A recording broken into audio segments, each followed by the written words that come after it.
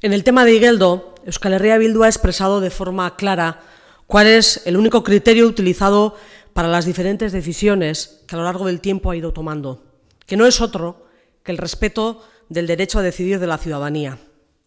La aceptación de la desanexión de Igueldo no es más que un ejercicio práctico de respeto de la opinión y posición de los vecinos y vecinas de este municipio, una decisión a la que damos la magnitud que tiene, ni más ni menos, pero que no deja de ser un ejercicio real del derecho a decidir. Tomando en consideración el derecho democrático que le asiste, Igueldo se ha convertido en el 89 municipio de Guipúzcoa, en el municipio número 89. Se podrá estar de acuerdo o no con esta decisión, pero nos corresponde a todos los agentes y partidos políticos aceptarla. No puede ser de otra manera. Estamos, eso sí, realmente preocupados con las maniobras e intentos de algunos partidos políticos empeñados en que la decisión de las personas que viven en Igueldo no se materialice. Los y las vecinas de Igueldo han hablado y lo han hecho con total claridad. Han mostrado cuál es su voluntad y también su apuesta de futuro. Quieren ser pueblo, quieren constituirse en municipio, y a quienes tienen y tenemos responsabilidades institucionales les corresponde, nos corresponde hacerlo realidad. Es de sobra conocida la actitud antidemocrática del PS y el PP en contra del derecho a decidir. Con la Constitución española en la mano, PP y PSE le niegan su condición de pueblo tanto a Cataluña como a Euskal Herria. El caso de Igueldo no es equiparable si se quiere, pero en esencia estamos hablando de lo mismo del reconocimiento del derecho a decidir. El posicionamiento del PNV es clarificador a la par que preocupante, por cuanto que le está diciendo no al derecho a decidir de la ciudadanía de Igueldo.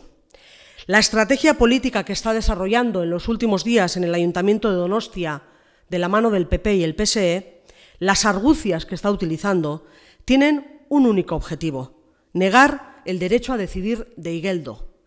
¿Quién y el PNV, que no se cansa de definirse como demócrata, pero que se escandaliza ante la decisión de respetar la voluntad de la ciudadanía.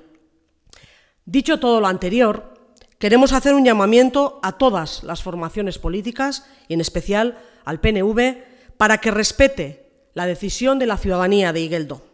Les solicitamos que abandonen todas las iniciativas encaminadas a impedir que Igueldo sea municipio. El PNV está aún a tiempo de hacerlo. Hay tiempo, antes del pleno del próximo día 27 de este viernes, para desistir de presentar recurso alguno contra el derecho a decidir de Igueldo.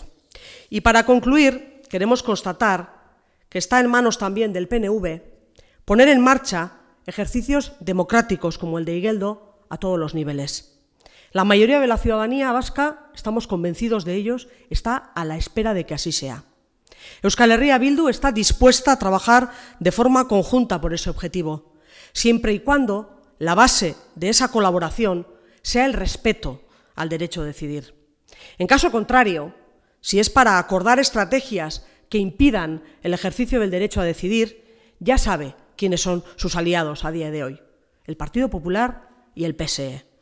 Esperamos y confiamos, por tanto, en que el próximo viernes no se constituya un frente a tres contra el derecho a decidir.